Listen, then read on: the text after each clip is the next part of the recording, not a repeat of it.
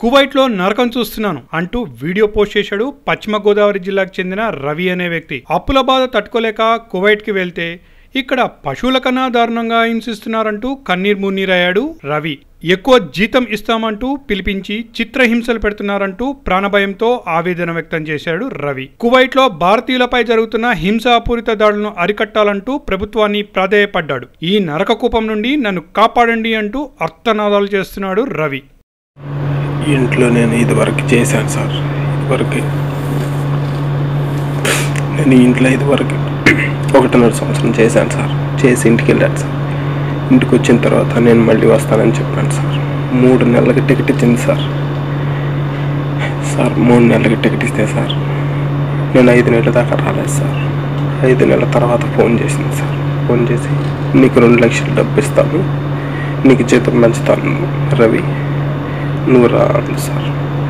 నాకు ఇంటి దగ్గర బాకీలోని బట్టి ఆశపడ్డాను సార్. ఆశపడి నేను ఇంత దూరం వచ్చాను సార్. సార్ వచ్చిన తర్వాత రెండు నెలలు బాగానే ఉన్నింది సార్. ఒకసారి బండి రిపేర్ వచ్చింది సార్. వీళ్ళకి తెలిసిన ఆయన ఎవరో అంటే సార్. పోలీస్ స్టేషన్లో ఉంటాడు పోలీస్ సార్.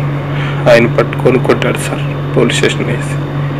అయినా పర్లేదులే నాకుంటే బాధలు ఇదంతా అనుకొని ఉండిపోయాను సార్. మళ్ళీ మొన్న నాలుగు రోజుల కిందట చెడిపోయింది సార్. వారం కిందట చెడిపోయింది సార్. రెండు రోజులు బాగానే ఉంది సార్. మూడో రోజు కొట్టేసింది సార్. అక్కడ కొట్టేసింది సార్. చెప్పుకోలేను సార్. నా భార్య బిడ్డలను చూసుకోవాలని sir. Please sir save sir. Government వల్ల అవుతుంది సార్. ఖచ్చితంగా అవుతుంది సార్. సార్ ఎక్కువ వినపడితే మళ్ళీ పైకి వస్తారు సార్. ఏ ఫోన్ ఎక్కడదని అడుగుతారు సార్. ఇంకా కొట్టేస్తారు సార్. సార్ సరే ఉంటాను సార్. ఈ స్టోర్ రూమ్లో వేసేసాను సార్. స్టోర్ రూమ్లో వేసేసాను సార్. స్టోర్ రూమ్లో వేసాను సార్. ఉంటాను సార్. సార్ ప్రతి ఒక్కరు షేర్ చేయండి సార్. మా ఫ్యామిలీని నాకు చూడాలన్నాను సార్. Please sir. ఇది నరేంద్ర మోడీ దగ్గరికి తీసుకెళ్ళండి సార్. మన Indian embassy worst embassy sir. ఇక్కడ ఏ పని అవుతుంది నాలాంటి వాళ్ళు చాలా మంది ఉన్నారు సార్ ఇక్కడ. నాలాంటి వాళ్ళు చాలా మంది ఉన్నారు సార్.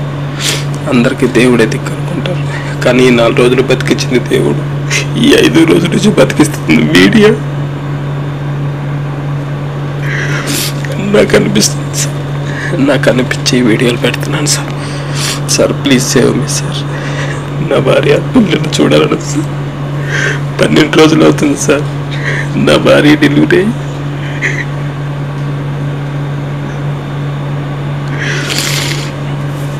వాళ్ళని చూసుకోకుండా చచ్చిపోతానే ఉన్నాడు భయంగా ఉంది సార్. సార్ రేపేటి పరిస్థితుల్లో నాకేమన్నా అయినా కూడా మీరే ఉండాలి సార్. నా భార్య బిడ్డలకి న్యాయం చేసేవాడు ప్లీజ్ సార్. ఎందుకంటే చెప్పలేము సార్.